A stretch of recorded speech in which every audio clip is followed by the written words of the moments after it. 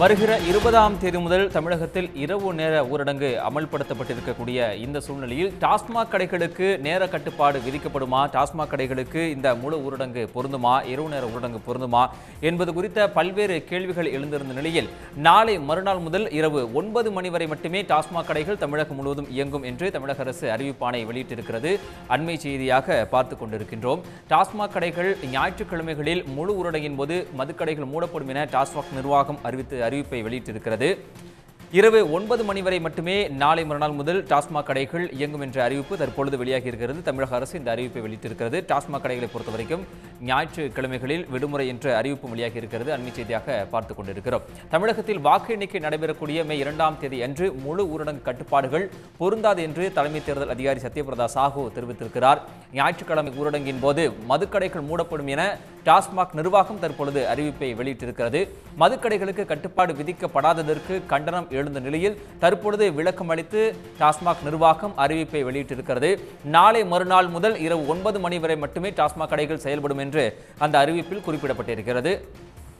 கூடுதல் விவரங்களை வழங்குவதற்காக செய்தியாளர் ராமசெல்வராஜ் இணைப்பில் இருக்கிறார். அவரிடம் பேசலாம். ராமசெல்வராஜ் டாஸ்மாக் கடைகளுக்கு என்னென்ன கட்டுப்பாடுகள் விதிக்கப்பட்டிருக்கிறது? முழுமையான வருமன் தமிழகத்தை பொறுத்தவரையில் இரண்டாவது கொ- கொரோனா அலையின் போது தினசரி பாதிப்பு தற்போது பத்தாயிரத்தை தாண்டிவிட்டது. இதையடுத்து பல்வேறு கட்டுப்பாடுகளை தமிழக அரசு இன்றைய தினம் அறிவித்து இருக்கிறது முதல்வர் தலைமையில் நடைபெற்ற ஆலோசனை கூட்டத்தில் எடுக்கப்பட்ட முடிவுகள் குறித்து அரசு பத்திரிகை செய்தியாக வெளியிட்டு இருந்தது. அதில் இருபதாம் தேதி முதல் மறு உத்தரவு வரும் வரை இரவு நேர ஊரடங்கும் அதேபோன்று ஞாயிற்றுக்கிழமை தோறும் முழு ஊரடங்கும் அமல்படுத்தப்படுவதாகவும் அது தொடர்பான கட்டுப்பாடுகளும் இடம்பெற்று இருந்தன.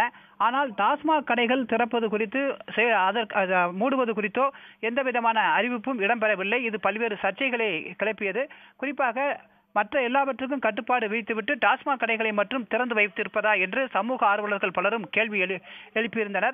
இந்த நிலையில் தற்போது அரசு த- சில அரசு துறை அதிகாரிகள் சில தகவல்களை தெரிவித்து இருக்கின்றனர் அதன்படி முழு ஊரடங்கு தினமான ஞாயிற்றுக்கிழமைகளில் மதுக்கடைகள் செயல்படாது என்று தெரிவிக்கப்பட்டிருக்கிறது.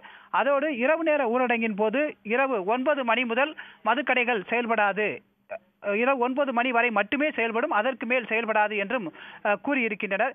எனவே தற்போது மதுக்கடைகளுக்கான கட்டுப்பாடுகளும் நடைமுறைக்கு வந்திருக்கின்றன. இதன்படி இந்த இரவு நேர ஊரடங்கின் போது இரவு ஒன்பது மணி வரை மட்டுமே மதுக்கடைகள் செயல்படும். தற்போது மதுக்கடைகளை பொறுத்தவரையில் பகல் பனிரெண்டு மணி முதல் இரவு பத்து மணி வரை செயல்படுகிறது.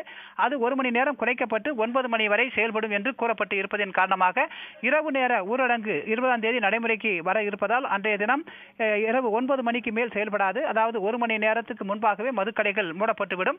அதே போன்று பொது ஊரடங்கு தினமான ஞாயிற்றுக்கிழமைகளில் முழுவதும் முழு நேரமும் முழு நாளும் மதுக்கடைகள் செயல்படாது என்பதும் அதிகாரிகள் தரப்பில் தெரிவிக்கக்கூடிய ஒரு தகவலாக இருக்கிறது. ஏற்கனவே இது தொடர்பாக டாஸ்மாக் பணியாளர் சங்கத்தினர் மற்றும் டாஸ்மாக் சம்மேளன நிர்வாகிகள் எல்லாம் அரசுக்கு கோரிக்கை வைத்தார்கள். அதில் டாஸ்மாக் மதுக்கடைகள் நேரத்தை குறைந்தது ரெண்டு மணி நேரமாவது குறைக்க வேண்டும் என்று கோரிக்கையை முன்வைத்திருந்தனர்.